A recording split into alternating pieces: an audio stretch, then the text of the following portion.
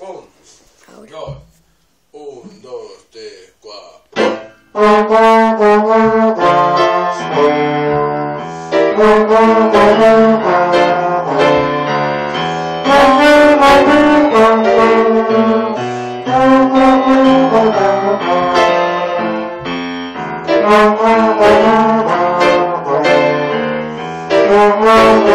Thank you.